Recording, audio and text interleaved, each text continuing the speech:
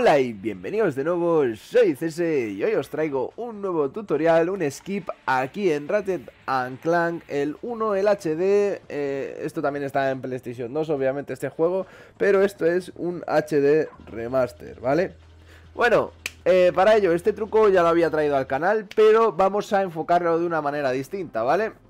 Este truco básicamente, como vais a ver, pues es para pasar por esta zona que aún está cerrada y habría que entrar por el otro lado, ¿vale? Así que esto sería un skip bastante grande y lo único que hay que hacer es no haber destrozado estas cajas de aquí justamente y lo que hay que hacer es ponerse justamente aquí en la esquinita, mantener R1 y darle todo el rato a la X, X, X, X, X, manteniendo el R1 obviamente, ¿vale? Y una vez hecho eso, ya como veréis ahí está...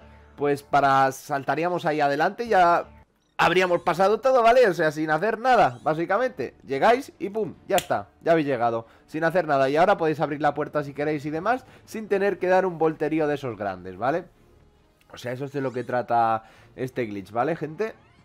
Pues bueno, vamos a ir básicamente a la puerta que estaba cerrada, ¿vale? Que la habéis visto al principio del vídeo Y ya estaría completamente abierta Ahí está, la que estaba cerrada ya está abierta Y ya pues podríamos hablar con nuestro amigo que hay aquí para hablar con Capitán Quark, ¿vale?